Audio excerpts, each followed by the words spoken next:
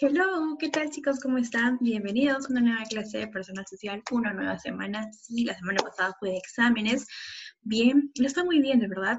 Eh, muchas gracias a todos por haber estudiado. De verdad, me alegra mucho saber que se están esforzando. A todos, a Dani, a Maca, a Cristian, a Alessandro, a Luis, em, a... Me olvido de Salvador, ¿ok, chicos? Felicitaciones, bien, este, espero no llamen ninguno pero de verdad felicitarlos, ¿no? Por el esfuerzo que están haciendo, a pesar que están en casita, están estudiando.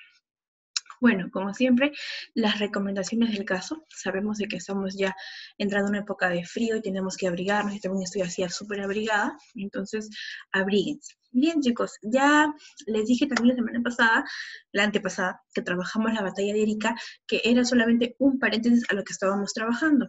Hoy cerramos unidad, bien, y trabajamos ya las señales de tránsito. ¿Ya? Eh, con esto cerramos la unidad y de ahí iniciamos nueva unidad, ¿bien? Bueno, chicos, ahora sí, vamos a enseñarles el diapositiva, ¿bien? Voy a compartirles mi pantalla. Bueno, para, hasta eso espero de que hayan pasado un bonito Día del Padre, que fue el día de ayer, bien en compañía de sus papis, en compañía de los que más quieren. Les cuento que yo la pasé en compañía de mi papi y de mi abuelito. De verdad, un día súper relajado, súper tranquilo. A nosotros nos gusta mucho la tranquilidad, ¿ya? No somos tanto así de fiesta, pero espero que ustedes hayan pasado súper chévere también su Día del Padre. Un beso. Bien, vamos a iniciar. Las señales de tránsito, ¿ok? Es muy importante conocer esas señales de tránsito ya es de suma importancia conocer, perdóname, estoy mucho, ¿no? De tránsito, ya que este, nos sirven, ¿ok? De información, de prevención y evitan muchas cosas también, ¿ok? Veamos. Muy bien, ¿qué tenemos aquí? ¿Qué observamos aquí? ¿Qué podemos ver aquí? ¿Ok? Podemos ver un montón de señales, ¿verdad? Una que dice alto, hay señales que quizás ustedes no entienden, por aquí pueden ver una señal que, ¿no? Que indica una curva, o acá te dice túnel, pero también podemos observar, hay señales de diferentes colores. Hay color rojo, color verde, color azul, color amarillo, cada color significa algo, ¿ok?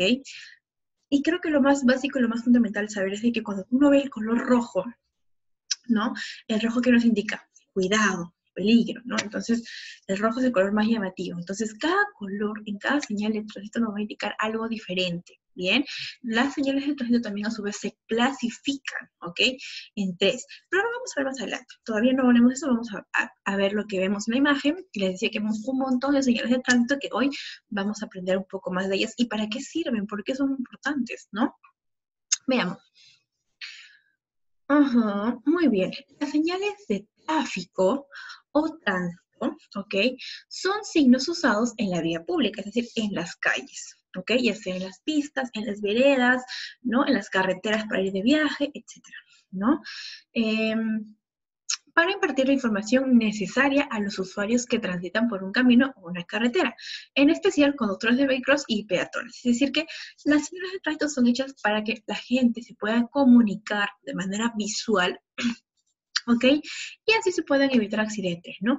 Y no solamente fueron hechas para los carros, ¿no? Para los conductores, sino también para los peatones, o sea, para nosotros que transitamos, ¿ok? Por ejemplo, si vamos en la calle caminando, ¿no? Y vemos uno que dice, no pase, ¿no? ¿Pasaremos? Claro que no, porque nos está advirtiendo que no debemos pasar, que algo puede pasar si es que pasamos, ¿ok? Entonces recuerden, las señales de tránsito fueron hechas no solamente para conductores, sino también para peatones, o sea, nosotros. Muy bien, si pensamos tener una convivencia armónica, es indispensable respetar las señales de tránsito. Y para nuestra formación como buenos ciudadanos es primordial conocerlas. Es decir, si uno quiere vivir armónicamente, eh, muy aparte pues, ¿no? de ser buen vecino, una, una comunidad, también tiene que respetar las normas de esto. ¿Por qué? Miren, les comento. ¿Qué sucede no, si es que no hubiera señales de tránsito y no respetaríamos las señales de tránsito? Les comento. Digamos que viene un carro ¿no? Y el carro dice, oye, cruza. Y yo le digo, no quiero, no quiero. Imagínense, ¿no? ¿Qué manera de comunicarse es esa? Entonces, ambos debemos respetar. Si esta persona ve que el semáforo está en rojo, ¿ok? Él no tiene que pasar. Y si yo veo que el semáforo está en verde para los carros, yo no debo cruzar. ¿ok? Obviamente sí creo que todos nos ha sucedido una situación en la calle en la que hay personas que no respetan señales de tránsito, ¿no? Y es también de suma importancia, por ejemplo, cruzar por las cebras peatonales, esas líneas blancas que hay en los semáforos, ¿bien? Entonces, seamos respetuosos, tanto los choferes, porque quizás sus papis tienen carro, o tan, y tanto nosotros que seamos peatones. ¿No? Y bueno, y es también eh, primordial conocerlas, ¿no? Eh, yo hace poco me encontré con, bueno, hace muchos años atrás, con un amigo de muchos años, este, y les comento, pues estábamos andando por las calles y un día este, andábamos por ahí y le digo, oye, no, espera, no pases, ¿no? Porque ahí había una señal. Y me dice, no, pero ¿por qué? ¿Pero no ves la señal? No, me dice, entonces, imagínense, ¿no? Es, uno ya adulto tiene que saber, entonces por eso a ustedes de pequeños se les enseña a entender, a saber cuáles son, qué nos quiere decir cada señal, ¿bien? Ahora, para sacar un brevete también sus papás, en caso de tener carro, ¿no? Todos los que sacan brevete tienen que pasar por un examen, ¿no? En el cual les preguntan, todas estas señales, hay muchas, hay miles de señales de tránsito, de todas estas un les preguntan, ¿no? ¿Qué significa esa señal? ¿Qué significa esa señal? Tienen que saber, a, a, cuanto más sepan, más probabilidades tienen de sacar un brevete, ¿no? Porque si uno es un conductor, tiene que saber, ¿no? Como conductor, leer y diferenciar las señales de tránsito. ¿Qué pasa si tú eres un chofer, por ejemplo, Alessandro, estás con tu carro manejando mm, mm, y ves una señal que dice curva peligrosa y tú sigues yendo a toda velocidad? ¿Qué pasa? te puedes volcar. Entonces, uno como conductor tiene que saber, entender y leer esas señales de tránsito. Veamos. Las señales de tránsito no solo están ahí para restringir y alertar, también fueron diseñadas para darle la mayor cantidad de información posible al conductor y al viajero. ¿Ok? O sea, mientras más información, mejor. Porque supongamos que el conductor está en una carretera súper larga de noche. Están de noche, ¿ok? Donde no se ve nada. Solamente se pueden ver las señales de. Entonces, hay señales en las noches que se ven bien, ¿ok? Que te alertan y te dicen, zona de neblina, ¿no? Cuidado, se maneja despacio porque más adelante hay mucha neblina y te puedes chocar. O te dice, cuidado, ¿no? Hay curvas peligrosas, maneja despacio, ¿no? Etcétera. Entonces, las señales, ¿ok? Dan mucha información al chofer. Ahora, supongamos de que uno de ustedes va a viajar con su carro a un lugar que no conoce. En todo el camino, el trayecto, hay señales que te indican cómo es el camino, qué te vas a encontrar, ¿ok? Si hay muchas curvas, te indica este, si hay neblina, te indica si la pista es de un solo carril. Estas señales te van a ayudar, te van a dar información, Bien. Y bueno, ¿no? Para guiarse hacia su destino sin contratiempos y con la mayor seguridad posible. Esa es su esencia, prevenir y evitar. O sea, las señales de tránsito fueron hechas para prevenir y para evitar, no para después del accidente, pues recién actuar, no, para antes que suceda, ¿no? Previene un accidente, evita un accidente, ¿ok? La palabra prevención significa, pues, ¿no? Anteponerse a, ¿no? Tomar medidas antes de que sucedan las cosas. Muy bien digamos. Clasificación, les decía, ¿no? Las, señales de tránsito se clasifican en señales de información, señales de prevención, señales de reglamentación, ¿bien? Y el, el respeto a las señales de tránsito. Tú, ¿no? Entonces, ahora, lo ideal, pues, en un mundo ideal sería de que todos respeten las señales de tránsito, pero como sabemos, y como es el Perú, no todo respeto. Y no solamente los choferes, tampoco los peatones. Ustedes nunca han visto a personas cruzar por donde no deben cruzar, ¿no? Correr en el semáforo en verde cuando los carros están pasando, mm, lamentablemente pasa. Y por eso suceden los accidentes.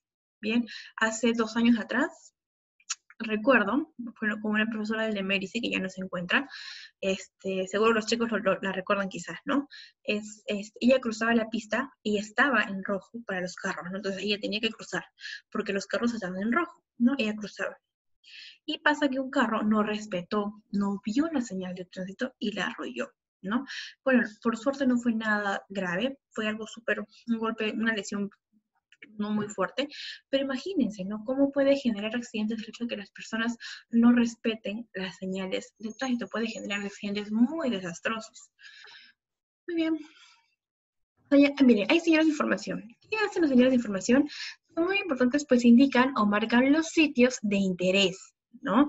O sea, son señales que te van a informar, te van a decir, oye, cuidado, ¿no? O te dicen, mira, ¿sabes qué? Por aquí cerca hay teléfono, por aquí cerca hay un grifo, por aquí cerca hay un pueblo, hay, o sea, son señales que te van a dar información, ¿no? Por ejemplo, tengo una carretera en la nada y no sabes qué sigue. Te dice, a 50 kilómetros hay un grifo a un kilómetro ahí está el pueblo tal, a la izquierda está tal pueblo. Entonces, así te van a dar información, ¿no? O de hospitales también, hoteles, etcétera, ¿no? Tienen forma rectangular, de un rectángulo con colores y figuras diferentes, que van de acuerdo a la información que suministra. Miren, vamos a ver aquí, por favor, este, ah, importante, las señales de información se caracterizan por tener de color fondo, de, fondo de color verde y las letras eh, y símbolos de color blanco, pero también hay de color azul, blanco, es decir, que hay señales de todos colores. Las señales de información se caracterizan por ser azules. Veamos aquí. Mire, aquí podemos tener señales de información, ¿no? Puesto sanitario, o sea, como cerca, servicio telefónico, por ahí hay cerca hay un teléfono, estación de servicio, o sea, donde pueden encontrar gasolina, ¿no? Hay una gomería que es para las llantas, bien, restaurante, servicio mecánico, o sea, son señales que te van a informar, ¿ok? ¿Qué puedes encontrar más adelante, ¿no? También tenemos, tenemos señales de prevención. En este tipo de señales tiene como finalidad advertir al conductor del vehículo de la existencia de un peligro o situación poco común, ¿no? Las advertencias pueden ser permanentes o temporales. Así como les decía, no puede decir, oye, cuidado que hay neblina, cuidado que hay este, zona de piedras, o cuidado que es zona de ganadería, puedes encontrar animales en la pista, etcétera, ¿no? Miren aquí. ¿Cómo pueden ser las señales? ¿Qué color? Amarillo. Si se dan cuenta aquí la forma de las señales es una forma de un rombo, ¿verdad? Y color amarillo. Recordemos que las señales anteriores, que las señales de información son rectangulares, ¿ok? Y azules. Y las señales de prevención son en forma de rombo y amarillas, ¿ok? Miren, ahí nos indica, ¿no? Curva, una curva más pronunciada, una curva en forma de S, ¿no? Un camino serpentinoso, si con muchas curvas. Hay una pendiente, cuidado que hay una bajadita, una, este, otra pendiente que hay una, ¿no? Subidita, ¿no? el carril de lo que es ancho se va a encoger un poco más, cuidado.